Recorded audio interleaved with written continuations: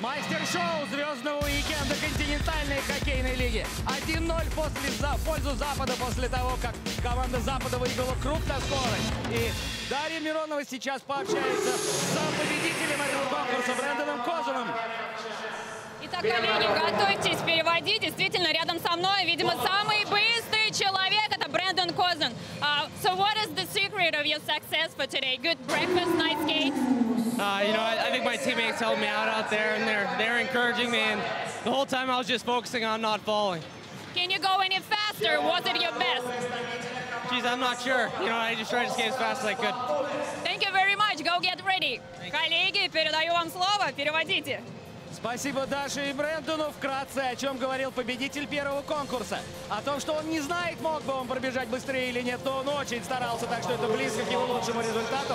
И о том, что, в принципе, помогли ему партнеры, помогли не упасть. Ну а у нас на очереди конкурс номер два.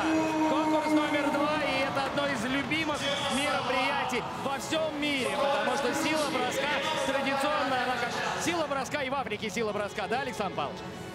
Ну да, одна из, один из решающих и важных э, технических элементов в современном хоккее – бросок. И бросок э, как бы имеет свое значение. Опять же, это очень-очень любят зрители. Хоккеисты на самом деле такие конкурсы не любят. Потому что здесь есть как э, самый сильный бросок, так и самый слабый. Да, и вот оказаться самым слабым не хочет абсолютно никто. Оскар Вартулис первым не хочет оказаться самым слабым, безусловно. Наверное, давайте представим сейчас тех, кто будет участвовать в этом соревновании. Напомню, 1-0 пока что в пользу Запада. Фальгин, Филипп Ларсон, Милан Юрчина и Кем Паркер команду Запада. Оскар Бартулис, которого мы уже видели и в своих экранах, который только что исполнил свою вторую попытку на 147,9. А также еще Владимир Денисов, Тобиас Викланд и Джонатан Блум. Это команда Востока. Команда, которая надеется сравнять счет соревнований. Особенно, я напомню, четвертый раз в этом формате соревнуются команды. И три раза до этого выигрывал Запад. И сейчас ведет Запад. Так что сильнейшие броски нужны. Ну да, 147,9 результат на самом деле очень и очень неплохой. А, ну и его показала команда Востока, которая начинала первый конкурс и начинает а, конкурс под номером 2. На очереди Филипп Ларсен, представитель Йокерита. Брэндон Козун выиграл для своей сборной первый конкурс. Сейчас снова представитель Йокерита. Будет посмотрим, будет ли он фаворитом этого конкурса в данном случае. Если исходить из того, что Йокерит принес первое очко сборной Запада. Ларсен, попытка номер два. 142-69, это слабенько. Ну так пока, да, пока э, Восток выглядит поубедительнее. И выиграть, опять же, по представителю Йокерита второй конкурс для своей команды пока не получится. Здесь есть определенный секрет, потому что самое э, короткое расстояние, то есть шайба должна быть отправлена по самому короткому расстоянию, соответственно, в направлении измерительного прибора. Тогда, тогда э, результат будет максимальный. Вот сейчас Денисов выполнил бросок выше, и, соответственно, как бы максимальный результат показать тяжело. То есть, на самом деле, бросок был бы быстрее этой же силы, если бы он отправил шайбу в направлении прибора. Две попытки Владимира Денисова. Первая на 146 с чем-то, но вторая похуже на 140. Тем не менее, по-прежнему 147,9 результат Оскарса Бартулица остается ориентиром для всех Милан Юрчина. Гигант хоккейный в прямом смысле слова. Человек с выдающимися данными по своим габаритам. Способен ли он с такой же мощью бросать поворотом? Узнаем мы сейчас. 160.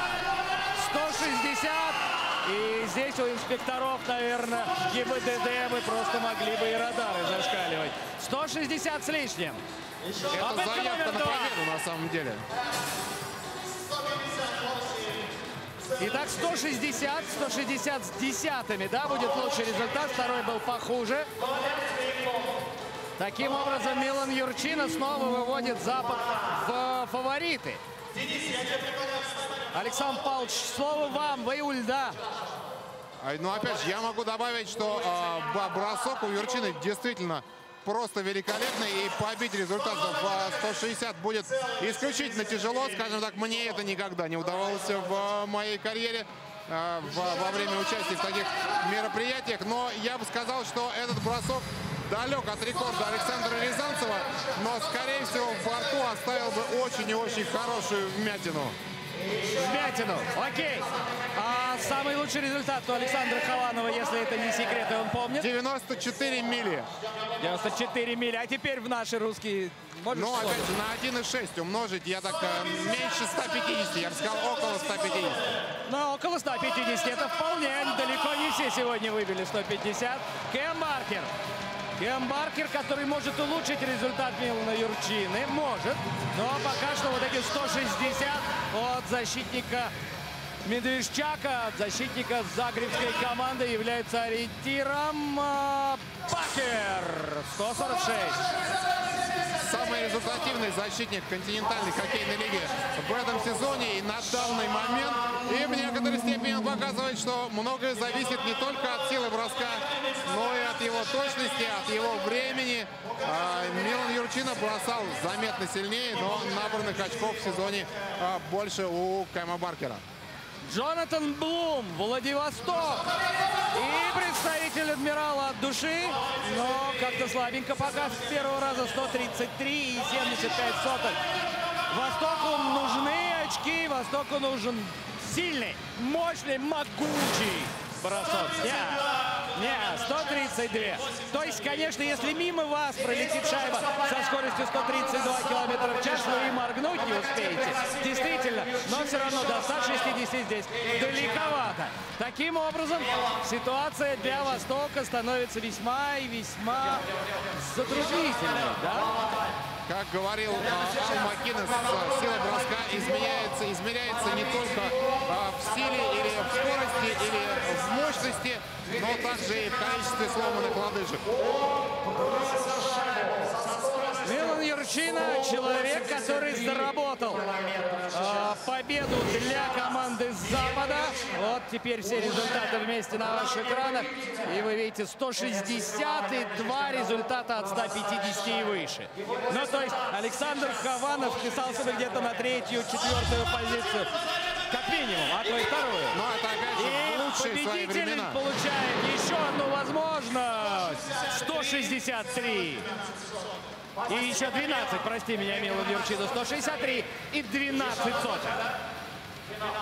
Лучший Итак, результат пока. Да, и мы останется. А потому что, опять же, второй бросок, если вот то, о чем мы с тобой говорили, да, получился немножко неточным. И именно из-за этого в скорости и а, проиграл. Но Милан Юрчина, тем не менее, своим мощным броском, я бы действительно отметил, у него великолепные данные для того, чтобы бросать а, сильно. А, 193 килограмма, 100, 193 рост, 114 килограммов вес. Но, собственно говоря, представляете, какая нагрузка приходится на его клюшку. Но и в результате шайба летит с сумасшедшей скоростью. А какая нагрузка приходится на тех, кто попадает под его силовой прием? У -у -у. Итак, 2-0 в мастер-шоу, 2-0 в пользу команды Запада.